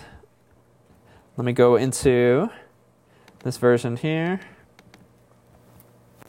Essentially, what was happening earlier was even though in the nib file we specified that the width of the ball was 10 by 10, and we did that with the little inspector, and then we did the same for 10 by 60 for each of the paddles, for some reason it seemed that the nib file was not actually properly storing those settings, such that it was an arbitrary 330, or in this case looks more like 1 or 200 by something. Um, and I was not able to attribute this to anything other than Xcode weirdness because um, dismantling the nib and redoing it from scratch fixed that earlier. So I'll take another stab at that and see if I can recreate the same fix as before. So let me go ahead and propose that what I've done in advance, and I'm not going to unwire this list to break on us again, I've actually added two labels. The font is perhaps excessively large, but I wanted just some placeholders, score left and score right. Those are just two UI labels. I've given them two IB outlets because recall that the goal was not just to implement Pong, but was to also implement this uh, scoring system, zero points here, one point here, for instance. All right, so in my viewcontroller.h, in advance, I've done just a couple of things. I've added label left and label right. We already had paddle left, paddle right, and also the ball. And we'll see in this version that's already been pre-baked, I also have a Boolean field for paused because I realized that it's a little annoying if as soon as you get a point, the ball just keeps going and you kind of want to pause, get your, get your wits together, and then start again. So there's going to be this flag that by default is true. The game is paused, and every time one side or the other makes a point, it's going to uh, pause again and recenter the ball. And then I have score left and score right. These are just going to be unsigned integers whose values are going to end up in the label left and label right. So hopefully no new magic there, just simply some values I wanted to store. Velocity is still defined up here. So really then I've added some logic now here. And I did clean this up. Rather than doing some of this on the fly, I for instance defined a constant where velocity is 10.0 in floating point units. And then I still initialized that in my awake from nib. I synthesized all those same uh, properties. And now let's just notice what else I did. It's not all that much to get to the end of Pong, to be honest. So awake from nib first initializes score left and score right to zero, because I just need them to be some known value. Then I initialize my velocity, this time using the constant. So this is one change versus the one I was doing on the fly there, just a little cleaner here. And now I scheduled the gameplay, just as I did before. So this is identical. So the only new thing here is now the ability to keep track of score. So let me go scroll down now to my, let's say, play method.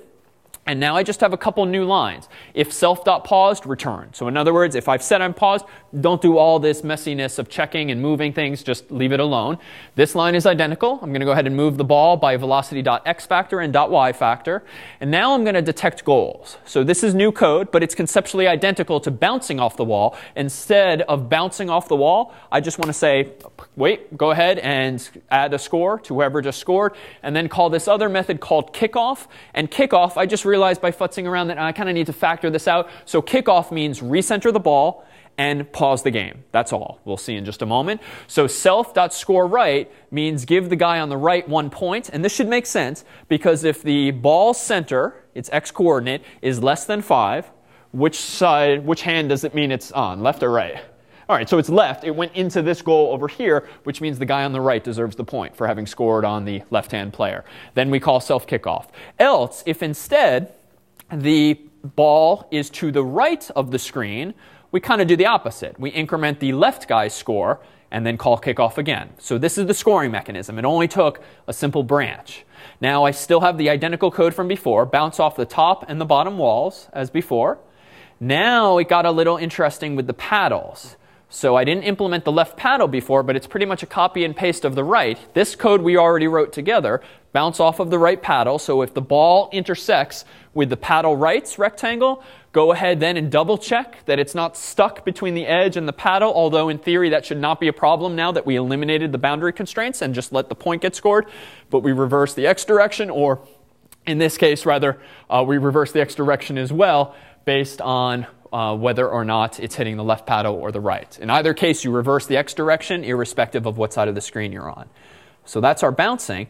So now let me scroll past that and we'll come back to that. So let's just look at this kickoff method. So the kickoff method is actually pretty simple. One, when I start the game by kicking off or after every point, I just want to update the score labels so that I see if it's 0, 0, 1, 0, 2, 0, whatever. So this is old school tricks as before using NS string and string with format. And I'm just passing in the score left and score right. All right, over here, notice I'm centering the ball and I hard coded this, but I could abstract this away. But for now, I just put a dead center in the iPhone screen, landscape orientation, and then I pause it by default. So this begs the question, how does the user unpause the game? Well, I decided the simplest and most intuitive would probably be to do what? You just touch the screen, right, and let things go. So how do we do this? Well, we saw in previous weeks how we can actually support gestures and swipes and pinches. Well, you can actually do much simpler thing with touches. So there is a method that can get passed to a message that can get passed to any UI view, namely touches began. It passes you a set of touches, maybe one finger, two fingers, three fingers, whatever's been touched on the screen. You get any such uh, touch objects, and then you also get the actual underlying event. So this is all it takes to actually unpause the game. If you detect any touch, I don't care if the user used one, two, five fingers or more, it's just going to turn off the pause, and therefore the game is going to begin, which means now the play method keeps getting called every 0.05 seconds, but this time it's not going to return immediately because paused is not, in fact, true anymore. Well, what about actually playing this game? Well, how do we actually have the curse? How do we have the right hand guy? Let's assume that the guy on the right will be the human, and we're going to have some artificial intelligence on the left hand side playing the computer. How do we implement the human? Well, it's actually pretty easy too with one of these touch methods. So just as there's touches began, there, which is the very first time you touch the glass, touches moved keeps track of your dragging your finger in some coordinates on the screen.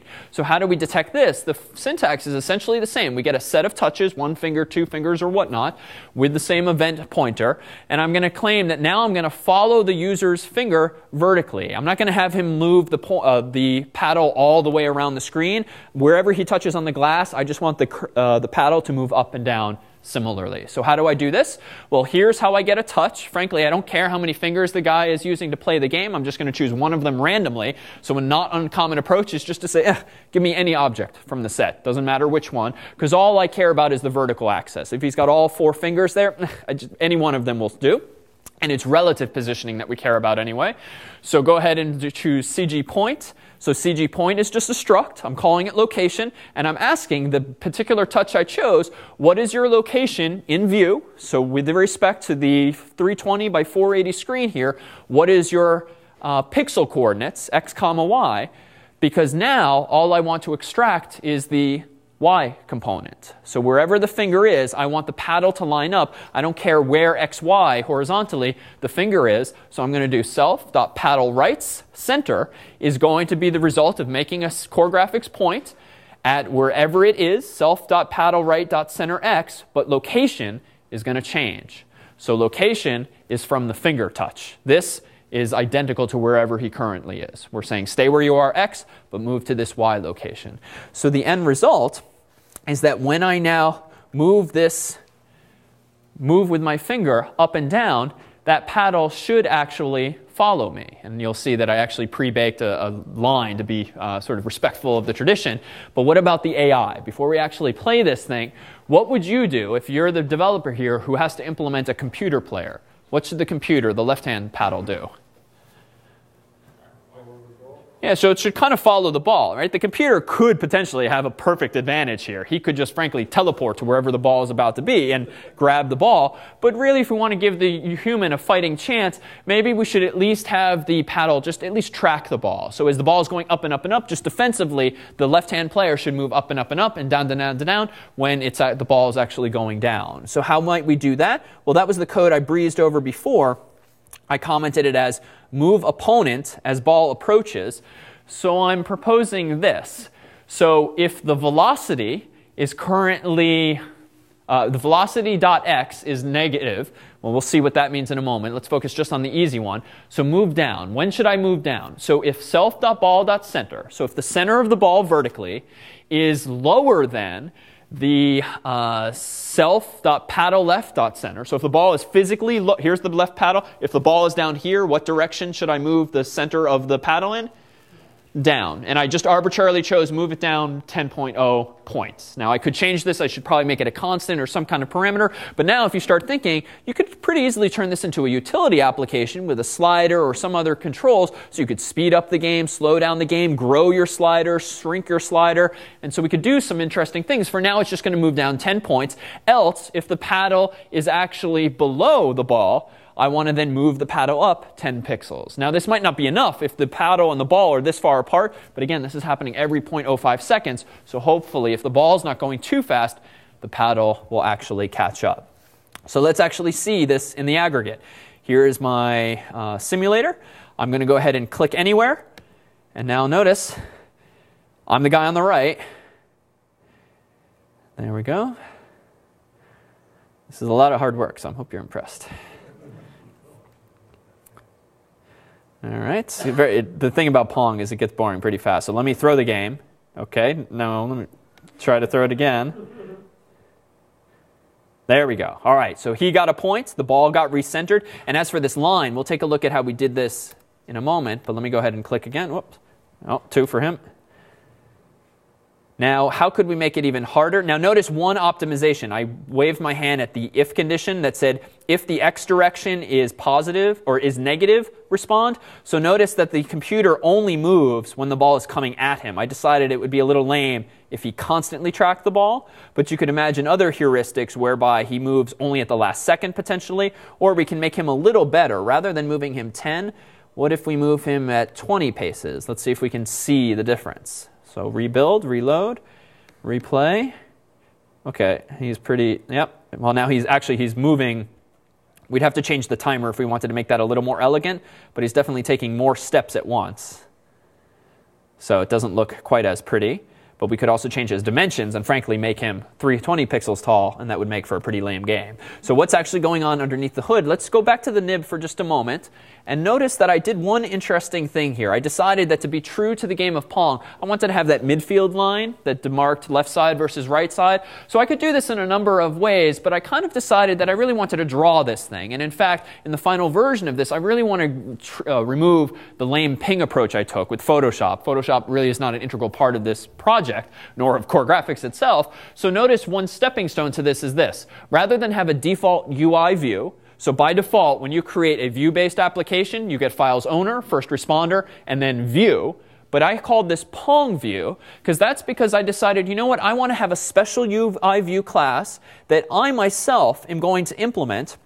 And I'm actually going to implement this new func method called draw rect for draw the rectangle. So the idea here is that when you usually use the view-based application template, you get for free a draw rect method that really doesn't do anything because this is why your screens by default are always black or gray or white or something very ordinary. I want mine to be a rectangle but with a dashed line down the middle, thereby representing the turf. So what did I do? Well, in my nib file, I simply made sure that on the left-hand side here, Pong view was selected. On the right-hand side view here, I went to my identity inspector. And recall we did this weeks ago with the controller. When we wanted a custom controller object, I just found Pong view in the menu and said, I don't want some lame UI view that I get by default. I want my view. And I myself am going to implement a method called um, draw rect. So here's my .h file.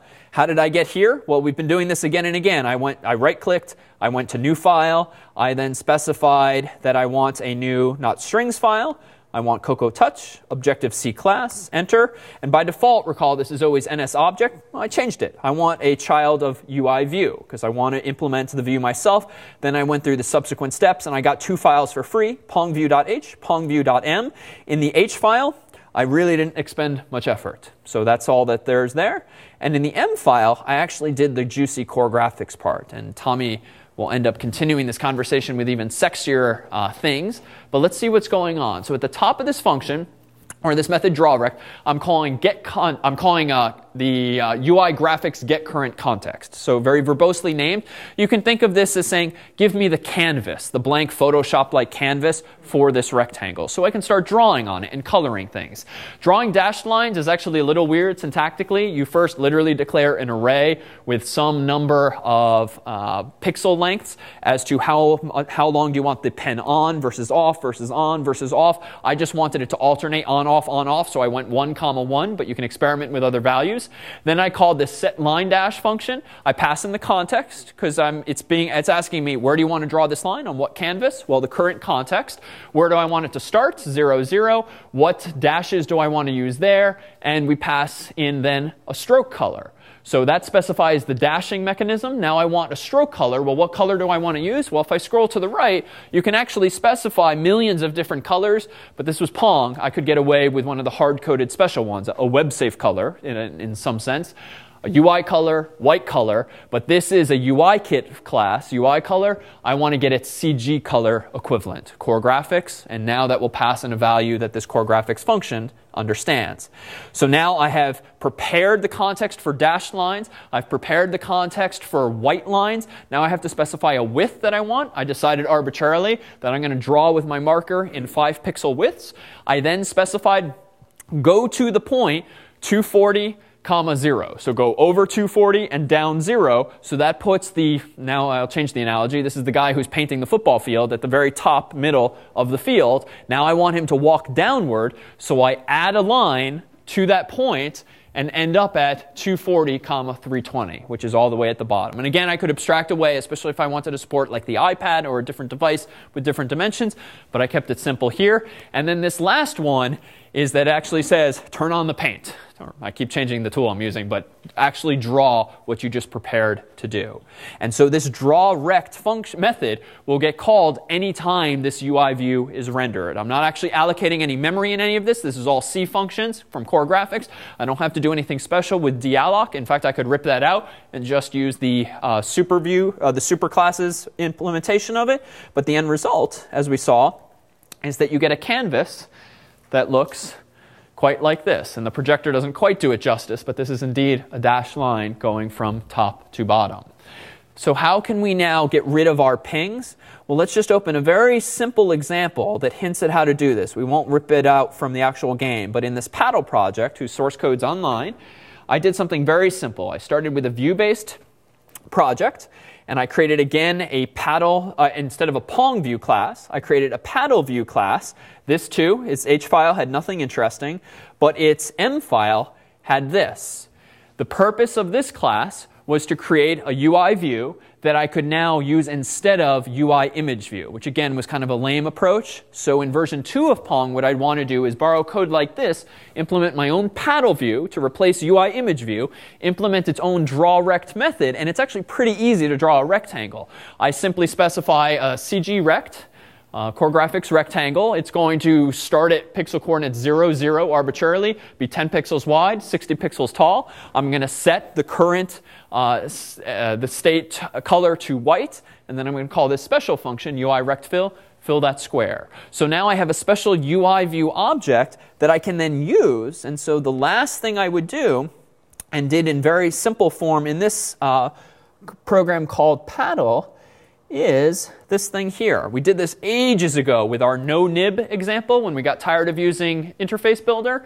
If I want to add a paddle to Pong or to this simpler project, I simply allocate a paddle view using alloc and init of the custom class I just made. Then we did this weeks ago, self.view, add a subview to uh, specifically this paddle view. So take the small little rectangle you just made, add it as an overlay on top of the current view, and then actually release the pointer you had. So the end result here isn't quite as sexy as Pong, but it's been chipped away to just be the core graphic content so that now in this, it's not even a game. I can move this up and down, but this is no longer that Photoshop PNG. Now it's actually a graphic I myself made. And so now you can imagine having on the back of this application sliders or whatnot and grow that rectangle just by changing its height and width. You can move it around even. And indeed, the code I used to actually have it follow the cursor was just copied from Pong itself. So all of this code is available online. Tommy will dive into even more sophisticated techniques, techniques tonight, but especially if you want to do something interesting graphically or game-wise with your student choice project, realize that there's a lot of uh, a lot of capabilities now within your reach. So we will see you next week for our final shorter lecture, and we will wrap up then.